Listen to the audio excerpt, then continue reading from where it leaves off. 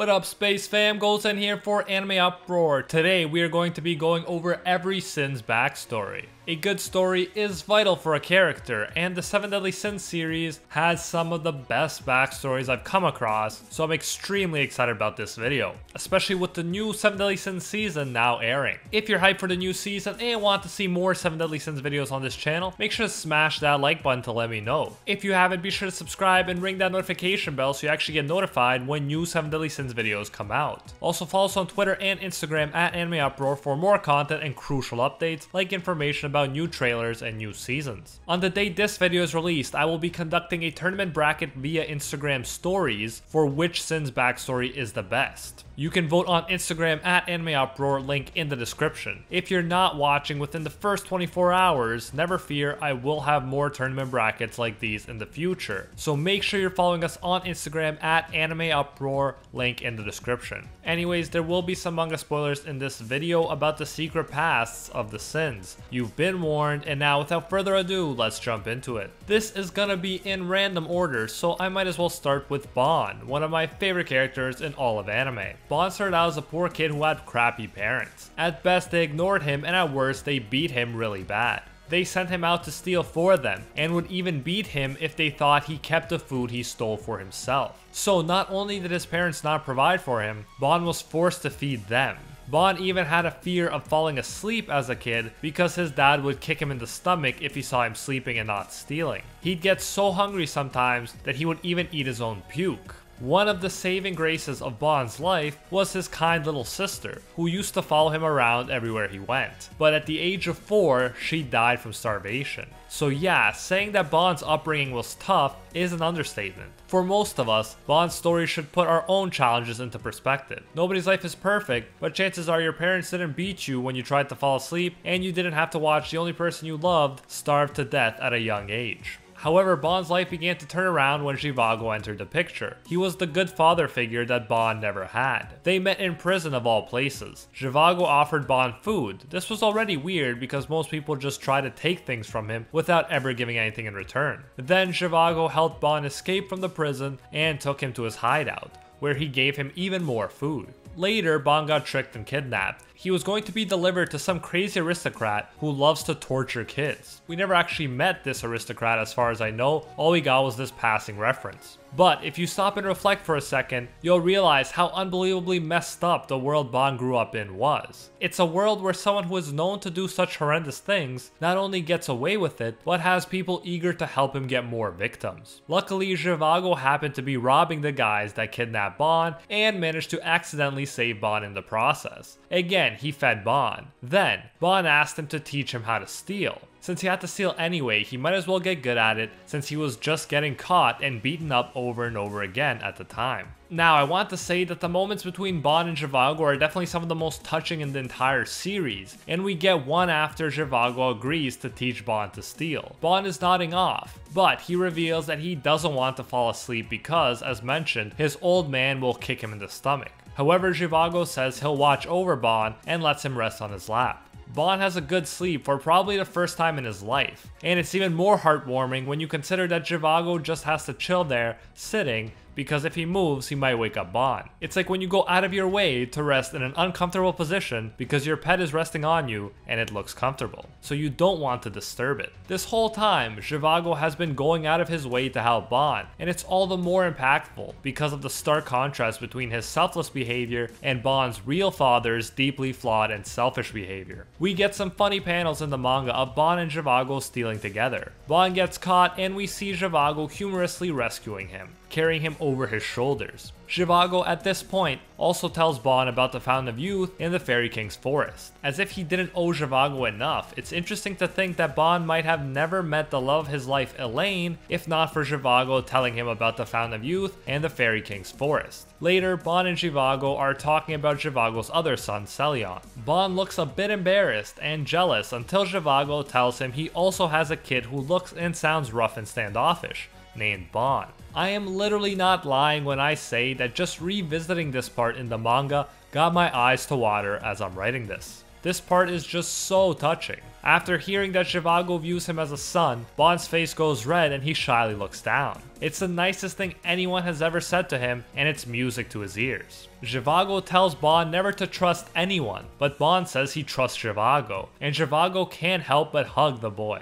Then he shoves his head in a playful way and tells him to get some sleep because they're thieving early in the morning. The next morning, Ban can't help but smile. He's so happy that he finally has a father who cares about him. Since Zhivago's late, Ban decides that he'll go ahead and rob the house on his own, so that Zhivago will be surprised and praise him. However, he gets caught and beaten up. It turns out that Zhivago was late because he overslept. Then, as he's rushing to get to Ban, he finds out that his werefox son in the mountains has been discovered. You see, Zhivago was a werefox this whole time. He sees Ban getting beaten up and it's excruciating seeing the look on his tortured face as he tries to decide which one of his sons to go help. Then he turns into his werefox form and with tears in his eyes apologizes to Ban as he turns and goes to rescue his biological son. As he's running, tears are streaming down his face, and Ban's words ring through his head. I trust you, Zhivago, end quote. Zhivago considers himself to be a despicable man for abandoning Ban.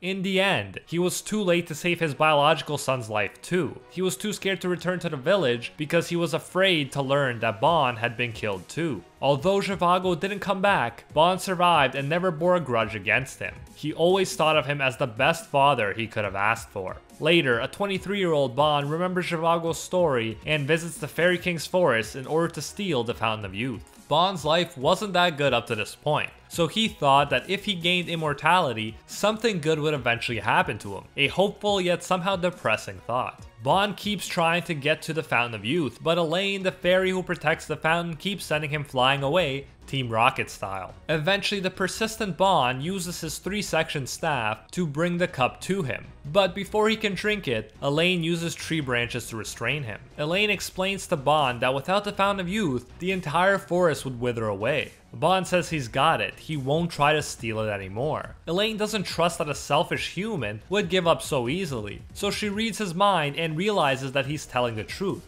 Elaine explains to Ban that she's been watching the forest in place of her absent Fairy King brother for 700 years, and nothing good happened all that time. Thus, Ban can't even be sure that something good will happen to him if he lives for eternity. Wow, that's harsh. Luckily though, the good thing that they were both waiting for is actually their meeting. They quickly take a liking to each other. They talk and Elaine starts to feel sad at the thought that Ban will leave her. She says to herself, and I quote, I wish Ban didn't come here to steal the Fountain of Youth, but instead came for me. Ban is actually nearby and overhears her. He responds, then how about I do that? End quote. Ban has also developed feelings for Elaine. As he explains, he doesn't get along well with other folks, and she actually took the time to listen to him. Ban promises to bring her brother back and free her from her lonely guardian duties. Then, Elaine hugs Ban, only the second time we've seen him hugged by someone. However, this side story doesn't have such a happy ending. A red demon attacks the forest. Ban takes its heart out with his snatch ability and thinks he's killed it, but demons actually have multiple hearts. All he did was attract the demon's attention.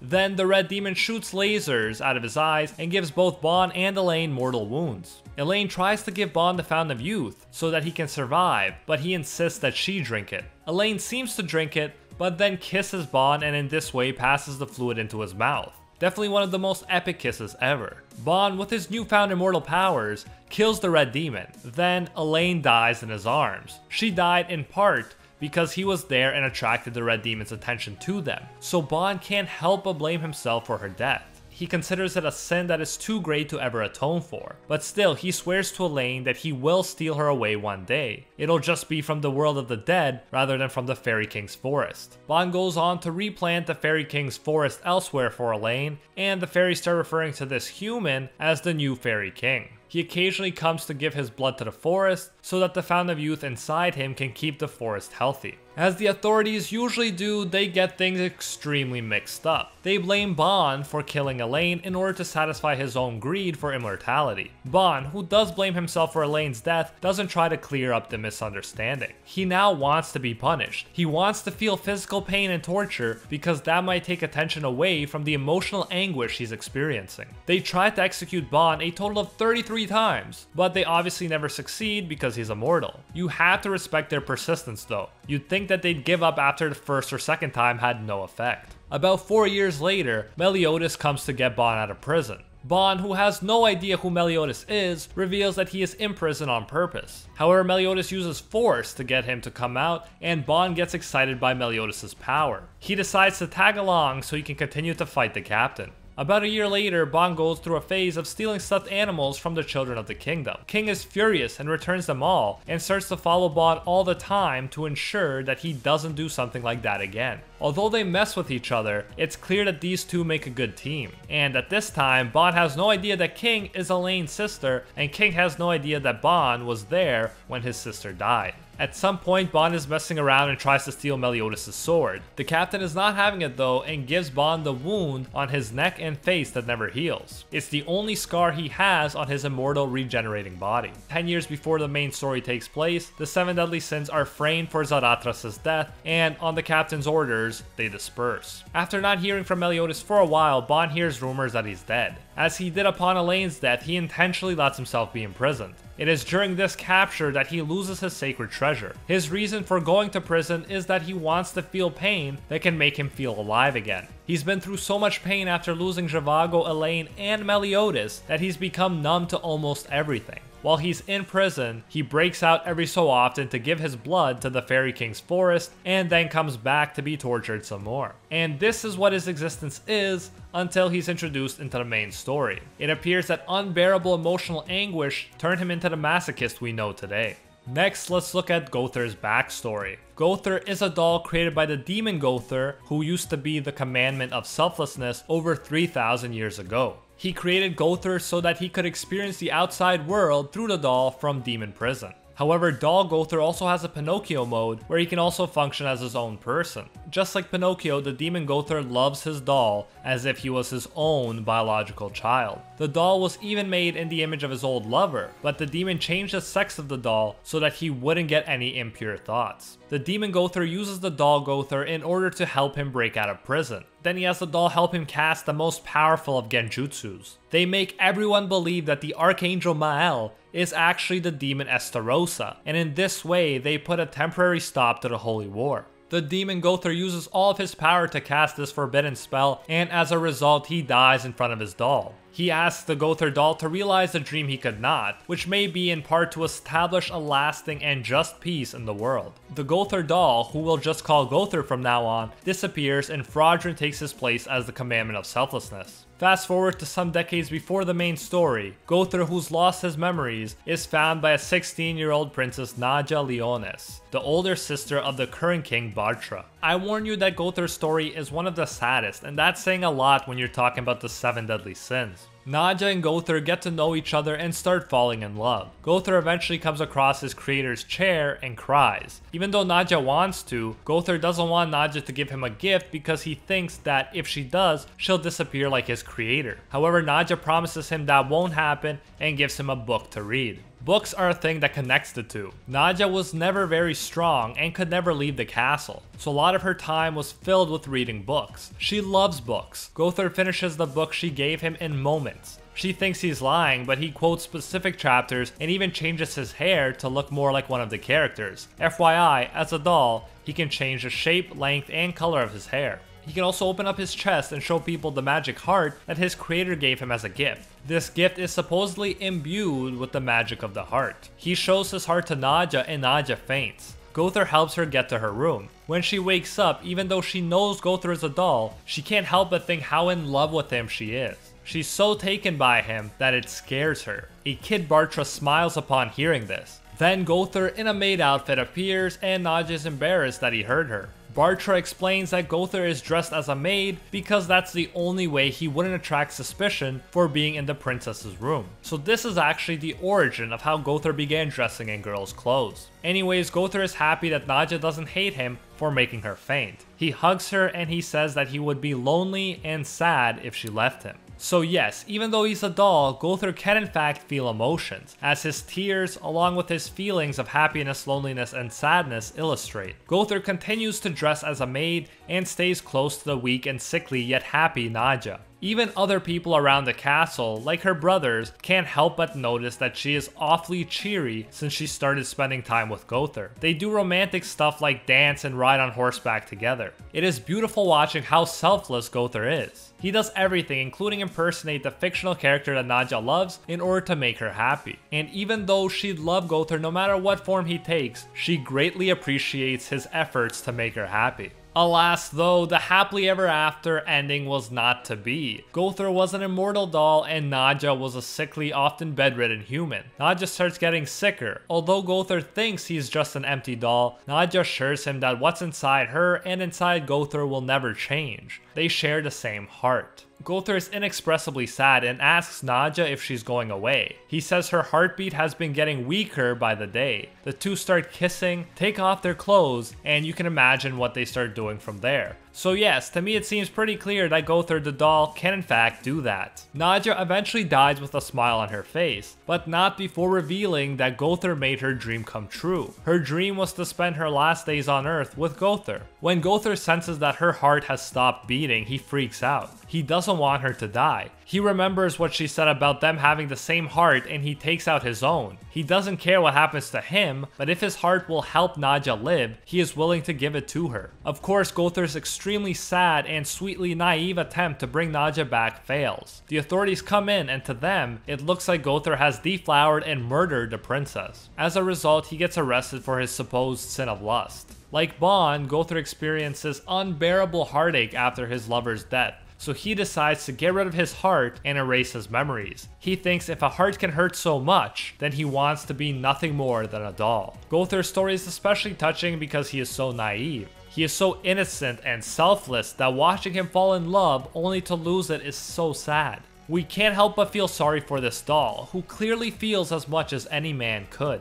Time passes on, and even though he erased his memories and supposedly gave up his magic heart, Gowther's heart continues to show itself in a variety of ways. For instance, sometime after the sins were framed, Gowther ran into a monster. Instead of killing him, he tried to help it by giving him his armor. Then, he was, for the most part, nice to a young boy called Pelio, after the boy helped him out. He looked after the young boy until the sins came to get him, and he was so nice to him that the boy cries when Gowther has to leave. He even copied the boy's late mother's hairstyle and a traveling entertainer's speech and behavior in order to make the boy happy for as long as he could. Like the Tin Man in The Wizard of Oz, Gowther had a heart all along, even if it doesn't always seem like it. Next, we're going to be looking at Merlin, Britannia's strongest wizard. Compared to the Merlin from Arthurian legend, Nakaba Suzuki's version of Merlin looks like a hot 30 year old woman most of the time, and I'm probably not the only one who appreciates that change. Merlin was always surrounded by a lot of mystery, so her backstory was especially interesting to learn about. Like Gowther, Merlin was around 3000 years ago. Merlin was from the city of Belialuin. Belialuin was the capital of the wizards. Her father was the elder sage and chief of the capital. Since Merlin was born with the amazing magic of infinity, everyone wanted her to be on their side. The wizards of Belialuin wanted her all to themselves, as did the Demon King and the Supreme Deity. Against the wishes of the wizards, she negotiated with the Demon King and the Supreme Deity. She tricked both of them into giving her amazing gifts by saying she would join them. The Demon King gave her detailed information on all the secret arts and mysteries of the underworld and divine protection that could defend against the brainwashing of the goddesses, and the Supreme Deity bestowed the child divine protection able to nullify any and all manner of dark curses and commandments. Then, after she got the gifts, she disappeared having deceived two gods. As revenge, the Supreme Deity and Demon King worked together to utterly destroy the city of Belialuin. They rained destruction down for 1,000 days. Poor wizards of Belialuin, they had nothing to do with the deception. They even asked Merlin not to meet with either god, and then they got punished even though Merlin wasn't even in the city at the time. So in this way, you could say that Merlin was a glutton for knowledge and power, since she was willing to sacrifice her entire city in order to acquire those things. Merlin also knew Meliodas and the goddess Elizabeth 3,000 years ago. She viewed Elizabeth as her big sis. Merlin was one of the first two members of the Seven Deadly Sins, and she helped Meliodas find the other five members 16 years before the main story takes place. Merlin was also one of the first people to take interest in Escanor's monstrous strength, while most people just feared it. As a result, Escanor was extremely grateful and even fell in love with Merlin. At some point, she created Escanor's glasses that can keep him from transforming in the daytime, and she also created the enchanted armor that Gowther used to move around in. She even had time to support King Arthur, teach Vivian the ways of magic, and seal away part of Meliodas' power, among other things. She's always been an extremely impressive and busy mage. Next, let's take a look at the giant earthbender Diane herself. Although she's approximately 750 years old, she's actually one of the younger Sins. 700 years ago, at the age of 50, which is very young in giant years, Diane left the giant clan because she hated fighting so much. She gets so lonely that she creates two golems out of stone using earthbending to keep her company. Then she eventually runs into Harlequin whose memories have been erased, so he doesn't know that he should be getting back to the Fairy King's forest since he's the king and all. Props to Harlequin for being able to be a king without ever being in his own realm. Anyway, since neither of them supposedly have anywhere to go, they get to know each other and become really good friends. They spend a lot of time together, many human lifetimes, and eventually Diane gets sick. Fun fact, fairies don't get sick, so King is very worried about Diane, since he's got no idea how to heal her. He decides that he needs to go get Diane medicinal herbs, but Diane holds him and won't let him go. She doesn't want to be by herself, so she asks him to stay with her. A human comes along and helps her out, and King, who mistrusts humans, thanks him a bit reluctantly. The old man's medicine works and Diane gets better. King and Diane continue to play and one day, Diane rips her clothes, so King makes her some new ones. Diane and King go to help the old man that helped them once, but he's dead, and even his grandchild has grown old and has kids of his own. This is when King and Diane realize that what feels like the other day to them feels like forever ago to humans. It is around this time that Diane learns about the human concept of marriage. It makes Diane jealous and she asks King if he loves her. With a red face, he says he does. Then Diane asks King to never stop loving her, and he promises that he will always love her and stay by her side. She replies all she needs is for him to love her, which is good because King is about to leave. He soon sees a cart that reminds him of his past, and he remembers everything. He remembers that he is the fairy king. He sees that there is trouble over at the human village and he goes to help. Diane tells him to find their friends and bring them back safely. King promises to come back to her, and Diane cries tears of joy. King finds out that the person attacking the village is none other than his best fairy friend, Helbram, who was getting revenge on the humans. King stops him and decides he needs to atone for his sins. In order to do this, he decides that he needs to leave Diane even though he loves her. He erases her memories of him so she doesn't miss him before letting himself get arrested. Diane returns to the Giant Clan after that. About 16 years before the main story takes place, Diane is fighting alongside the giant leader Matrona and her friend Dolores. The giants are hired as mercenaries by humans. It's the way they make their money. Matrona gets mad at both Dolores and Diane after one battle because Dolores defeated no humans and Diane defeated about 10 but didn't kill them.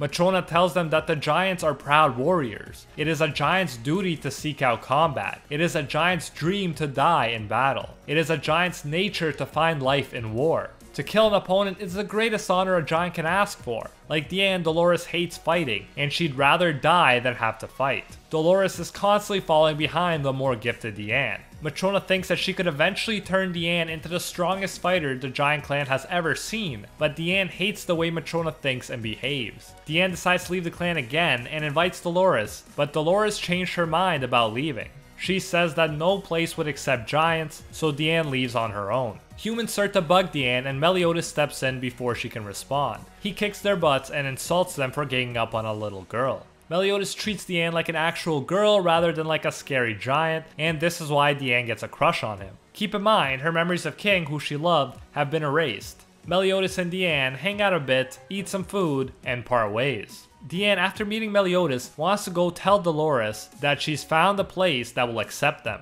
However, her best friend is dead. While Diane was away, she was sent to serve as a guard for a mining town. She was killed by some mountain bandits. Diane punches Matrona in the face for sending Dolores to her death. Matrona hits her back and tells her that they have to participate in a wide-scale suppression of the savages with the Liones Knights tomorrow. At this point, Diane decides that she doesn't want to be like Matrona who glorifies fighting or like Dolores who would rather die than fight. Diane will fight if she has to, but only to protect someone she cares about. Diane keeps having flashbacks of King, but she still can't remember him clearly, the memories are all fuzzy. She starts to confuse the words that King spoke in the past with Meliodas, who was recently nice to her, and that is why she develops feelings for him. It is mainly because she is projecting her feelings for King onto Meliodas. Diane, not super happy about it, comes the next morning to help the Giant Clan and the Knights of Liones. However, it was all a trap that was set by the Knights of Liones to take out Matrona, the out of control Fang of the land.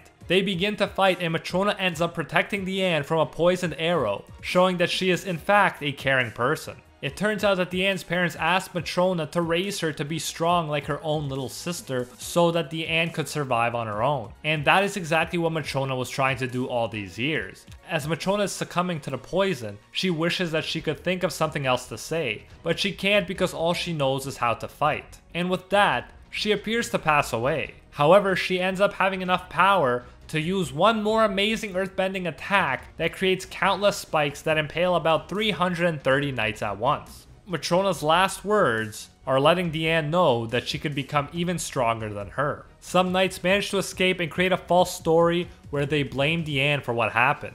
When they are charging Diane with the murder of Matrona, they say, Diane of the Giant Clan, your envy over Matrona's power drove you to poison an important ally of the kingdom, and to keep your crime a secret, you brutally murdered 330 of the kingdom's knights. End quote. So it was because of this false story that she got the name Serpent Sin of Envy. However, if we recall, she was envious of humans when she learned that they could marry, and she is envious of Elizabeth near the beginning of the story because of the way Meliodas treats her. So envy is a sin that she truly needs to overcome over the course of the series. Anyways, after she is sentenced to death for her false crimes, Meliodas, the great sinner, comes to her rescue and takes her under his charge. Next, let's take a look at King's backstory since we already got a preview of it from Diane's backstory. King was born around 1,300 years ago from the sacred tree the tree chose him to be the third fairy king. About 700 years before the main story begins, King was a fairy king with little interest in humans and cautioned other fairies to be careful around them, while his best friend Helbram took a lot of interest in them and trusted them to a fault. Unfortunately though, some humans ended up tricking Helbram and his fairy friends. The human Aldrich wanted to take their wings, which can be sold for a lot of money. He killed a bunch of fairies, and despite Elaine's warning, King left her in charge of the fairy forest so that he could go and save his fairy folk from the human threat. When he showed up, the place looked like a fairy graveyard, and even King's best friend Helbram looked dead. King was caught off guard by the eye patch wearing Aldrich and almost died. A young Diane eventually saved him, but King's memories were temporarily gone. He no longer knew who he was. As we saw with Diane's backstory, King and Diane ended up spending centuries together and becoming really close. However, eventually Helbram shows up to destroy the nearby human village. Helbram thought the king wasn't alive all this time. He thought that the humans killed Harlequin, his best friend. He's been taking revenge on all humans this whole time. And King, the one who was always cautious about humans, is the one who has to stop him. With tears in his eyes, he appears to kill his best friend, and then in order to atone for his sins, lets himself get arrested after erasing Diane's memories about him. King gets charged with the sin of sloth because he didn't stop the fairy Helbram. Instead, he went unaware of the tragedy and let it go on for so long. Meliodas is on the same carriage that takes King to the prison. Again, King can't really be blamed for not stopping Helbram because his memories were erased, but he could potentially be blamed for leaving his kingdom because he got too emotional when he saw what was happening to his best friend. Next we have Escanor, praise the sun! Escanor is actually the youngest Sin and was born 40 years ago. He was a prince of the kingdom of Castellio. His older brother was absolutely terrible to him, probably because he took his shine and he was jealous. One day, Escanor's sunshine powers awoke and he broke his older brother's arm. Escanor's body transformed into a much more muscular form, and his parents went from doting on him to viewing him as a monster. His own mother no longer viewed Escanor as her son, and the entire kingdom set out to kill him Frankenstein style. Only one person was nice to him, a woman named Rosa. She put him into a barrel and helped him escape. Escanor grew, and even when he helped people, they just get scared of him and treat him like a monster. It was not until Merlin, who looks like Rosa, and Meliodas met him that he finally felt like he belonged somewhere. Merlin and Meliodas weren't scared of him at all, rather his powers made him more interesting in their eyes. Escanor, as we know, fell hard for Merlin, and he's loved her ever since. That's the short version, but recently in the manga we got even more information about Escanor's backstory. It turns out that Escanor's daytime form was blamed for destroying a number of villages and towns even though he was actually trying to save the people from a monster. People got scared of him and blamed him for everything, and when the Holy Knights tried to restrain Escanor, they got injured. In his daytime form, Escanor also showed disrespect towards the King of Liones. As a result, he was charged with the greatest sin of all, pride, and sentenced to flogging and then hanging. However, as always, Meliodas came to the rescue and took Escanor under his charge. Escanor was the final sin to join the group. When asked what his specialty is by Ban, whether it's knives, a bow and arrow, spying, or assassination, Nighttime Escanor responded poetry writing, which was absolutely hilarious. Escanor actually tries to escape during the night after Meliodas saves him, but Merlin stops him. Escanor fears that his daytime curse will hurt the Sins one day. He says he can't control his daytime form and that he shouldn't have been born. He thinks that Rosa should have just let him die instead of rescuing him that one time. Later, when Escanor transforms into his daytime form, Meliodas shows up in order to show Escanor that he doesn't have to worry about hurting them. However, Escanor punches Meliodas into Ban and runs away, worried that he accidentally killed both of them and hating himself for it. He wishes that someone would stop him and take his life while he uses a mountain as a punching bag. I don't know if there's any manlier punching bag than that. When night falls, Merlin comes to Escanor. Escanor tells Merlin that his cursed power is why he's alone. She asks him to join them, but he says that he doesn't deserve to after killing Meliodas and Ban. However, Meliodas and Ban show up, illustrating to Escanor that they're fine and not ghosts. Meliodas lets Escanor know that he's not the only monster around. All of the Sins are monsters who are here to repent for their sins while living life to the fullest. Ban lets us know that the kingdom of Castellio was destroyed 20 years ago by barbarians, and isn't it interesting to think about how they chased away the only guy who could have helped them defeat the barbarians? If that ain't karma, I don't know what is. Anyways, Meliodas decides that he'll fight Escanor at noon and that will settle things. If Meliodas wins, Escanor will join the Sins, and if Escanor wins, he can do as he pleases. Full power Meliodas is able to overpower Escanor's the one mode at this point, which is interesting information. Escanor is shocked that he can feel pain in this form, but Meliodas tells him that he can feel pain because he's alive.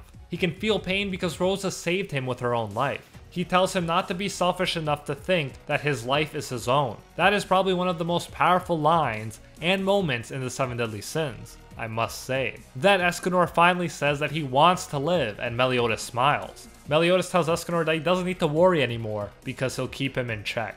Then Escanor faints and travels to the world between life and death to visit the dead Rosa. He thanks Rosa for protecting him and says that he's going to live this life that she saved to the fullest. He says that no matter what tragedy befalls him or how lonely he gets, he will live on without being ashamed of this life she gave him. She tells him that there's nothing to be ashamed of, and that with the sins, he'll no longer be alone. Rosa reveals that she's been watching Escanor all along. The side story chapter closes off with Escanor swearing to the gods that with the life Rosa gifted him, he will wager it for someone dear to him, just like Rosa did pay it forward style. Escanor, along with being one of the most epic characters, definitely has one of my favorite backstories as well. He's like Frankenstein's monster, but more epic, overpowered, and manly. Luckily, unlike Frankenstein's monster, Escanor found people who would accept him, and that made all the difference. Last but definitely not least, we have Meliodas' backstory. Meliodas is the son of the Demon King, and 3,000 years ago, he was the leader of the Ten Commandments. He was the commandment of love. Meliodas was on track to become the next Demon King. It's funny actually, despite the fact that he is our protagonist, back then he had a reputation for being ruthless, evil, and terrifying, and even the four archangels of the goddess clan feared him.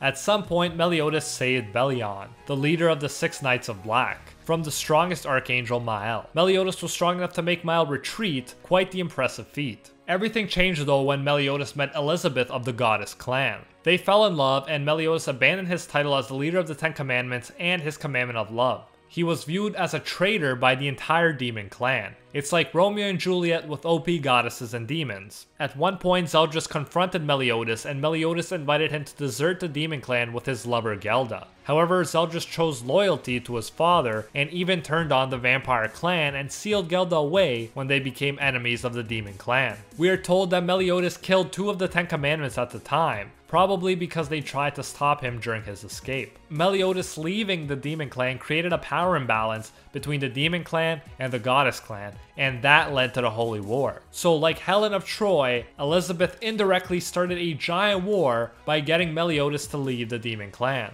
Meliodas fought alongside Elizabeth, Droll, and Gloxinia as part of Stigma until the latter two joined the Ten Commandments. Meliodas became friends with the Ban lookalike Ro at some point. They even bumped fists together like Ban and Meliodas do 3000 years later. And although he knew that Meliodas was a demon, Ro could tell that he was a good person, even while his fellow demons thought that he was the worst scum that ever existed. Eventually, the Archangel Ludociel comes up with a plan to lure all of the demons into one place so that he could kill them. He captures tens of thousands of demons and uses them as bait to draw out the other demons, including Monspeet and Derieri. However, Meliodas and Elizabeth just want to stop the war, so they intervene, but not before Ludociel kills tens of thousands of kidnapped demons, including Derieri's sister, right before everyone's eyes. Ludociel's plan is to destroy any chance of a peaceful resolution, and he almost succeeds. Commandments begin to fight archangels, and then Monspeet and Derieri become Indura, sacrificing most of their demon hearts and sanity to beat the archangels. Usually they shouldn't be able to revert back to normal, but Elizabeth helps to save them, while Meliodas protects her from Ludociel.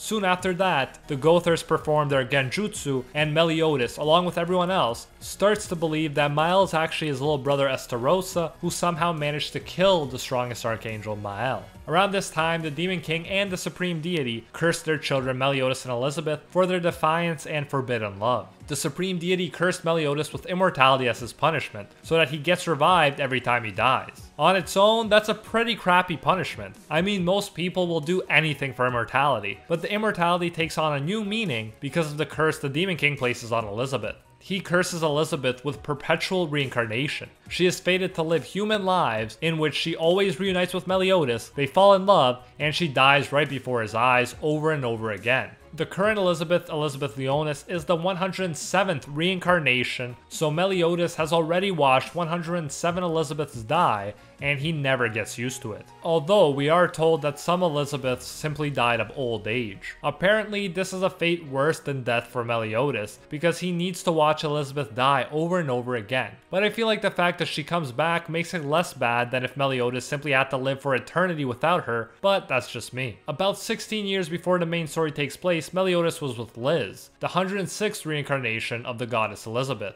She was from the enemy kingdom of Danafor and she was sentenced to death, but Meliodas rescued her. They lived together and predictably fell in love. Meliodas said that she was the most important person to him. Interestingly enough, she was more violent and less shy than Elizabeth Liones. Then entered the commandment Fraudrin, the people of Danafor broke his seal and Fraudrin managed to escape. He attacked Danafor and murdered Liz right in front of Meliodas' eyes. After Liz dies, Meliodas' rage causes his demon powers to go out of control. His power wipes Danafor off the face of the world, but Fraudrin manages to survive. So yeah, you could definitely say he earned the name Wrath. After, Meliodas finds a baby that is the new reincarnation of the goddess Elizabeth. Zaratras tries to help, but Meliodas warns him not to touch his woman, which probably looks pretty freaking weird. The baby Elizabeth is adopted by King Bartra Liones, and Meliodas becomes a holy knight of Liones so that he can stay close to Elizabeth. At some point, King Bartra has a prophecy about the seven deadly sins. Then, Merlin and Meliodas get all the sins together for the purpose of defeating the Ten Commandments if they manage to escape the goddess clan seal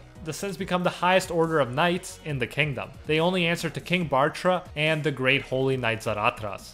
Then they go on adventures, one of which includes fighting vampires and seeing Zeldris' vampire girlfriend. Zeldris' girlfriend Gelda is resealed, and Meliodas can't help but wish that he was a better big brother to Zeldris, who was left to suffer so much on his own. Around 10 years before the main story takes place, the Sins had a mission that brought them into contact with the Druids and the former Goddess clan members Jenna and Zaneri. Zaneri developed a thing for Meliodas, but hey, who doesn't love Meliodas? Meliodas also served as a young Gilthunder's mentor. He trained him physically and mentally so that he would grow up to become a strong holy knight. Eventually, Meliodas, along with the rest of the Sins, was framed for Zaratras's death. Meliodas told the Sins to disperse and regroup later to figure out the true cause of his death, and everyone obeyed. While they were escaping, a young Elizabeth Liones tries to help them escape and gets extremely injured. This leads Meliodas to release his rage again, but luckily Merlin is there. She knocks him out and seals away a large portion of his power with the help of the aforementioned druids. According to Merlin, if she didn't do it, Liones would have been completely wiped off the face of the earth like Danafor. So props to her, because even though it seemed like she was the cause of Belialuin's destruction, it seems like she did manage to save Liones. Afterwards, Meliodas awoke and met Hawk. Hawk reminded him of his former bird companion Wandle. The two became good friends and decided to open up a bar on Hawk's mama's back, since Meliodas could no longer work as a knight. Meliodas sold his sacred treasure in order to fund his startup business. Hawk made for a great business partner whose specialty was leftover disposal. And that pretty much covers everyone's backstory up to the beginning of the series. This video took a lot more time than my usual videos, so I really hope you got value from it. Drop a like if you did enjoy it, and let me know what Sin's backstory is your favorite in the description. For more videos like this one, make sure to subscribe and ring that notification bell so you get notified when brand new 7 Deadly Sins videos drop. We have a 7 Deadly Sins playlist approaching 100 videos, so it's safe to say that you'll never run out of 7 Deadly Sins greatness, especially since we're always adding to the playlist. For even more 7 Deadly Sins content and crucial updates on the new seasons, you can follow us on Twitter and Instagram at Anime Uproar. On the day I drop this video, I will have a tournament bracket through the Anime Uproar Instagram story function, where you will be able to vote for which backstory passes to the next round until there's only one left. So make sure to head over to Instagram if you want your vote to count because stories only last for 24 hours. I will do more of these tournament brackets in the future, so make sure you're following us. Link to our Instagram can be found in the description, and I'll probably do a pinned comment as well. A big thank you goes out to our patrons over on Patreon who help make videos like this one possible. I especially want to thank our Pro Hero tier patrons, the one and only Gilgamesh, Nothing But a Fan, Jason Wilson, King Zeldris, Angel Cruz, Steelers, Poet Pablo, Atropos Wraith, $50 Beat, Ekra GN, Anatoly Kazatsky, DJ Nathaniel, and Mateo, and are the one tier patrons, the ones who stand atop all clans, Steven Ingrata, Alola Anatem, Matty Mac 239 Makoto Kun, and your boy Seth. If you enjoy our work, you can support more of it by going over to patreon.com slash animeuproar and becoming a patron today for as little as $1. If you do so, you'll get your name featured in future videos alongside these amazing people right here, and you'll even get access to our private patron-only Discord. So check out patreon.com slash animeuproar, link in the description if you're interested. You can also now join the YouTube channel and support more content that way if you prefer. You'll get the same great benefits no matter which way you choose to support us. And until next time, see you, Space Cowboys.